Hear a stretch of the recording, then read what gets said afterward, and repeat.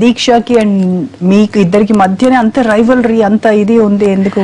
Actually rivalry అని నాకు ఇది ఎలా అర్థం చేసుకుంటారో నాకు తెలీదు ఆడియన్స్ కానీ నేను రైవలరీ ఇచ్చేంత ఇంపార్టెన్స్ కూడా నేను ఎవరికి ఇవ్వను.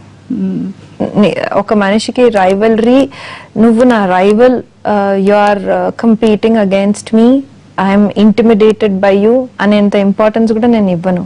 And definitely not her so for for me నేను చాలా వార్మ్ గానే ఉన్నాను తనతోటి. వచ్చినప్పటి నుంచి మీరు చూసారు కూడా. చాలా నేను అందరితోటి ఎలా జోకులు వేసుకుంటున్నాను ఆ, నేను అలానే ఆట పట్టిస్తూ ఉన్నాను. But I don't know why తను అంతలాగా డిఫరెంట్ టాంజెంట్లోకి వెళ్ళిపోయింది. అది ఇంకా అది రిపేరబుల్ స్టేట్ దాటి వెళ్ళిపోయింది. సో అట్ వన్ పాయింట్ తను అంటే కావాలని మాట్లాడిందా అని అనిపించింది. బికాజ్ అందరి మీద కంప్లైంట్ చేయడం జరిగింది. So I was little disappointed దాని తర్వాత ఇంకా పట్టించు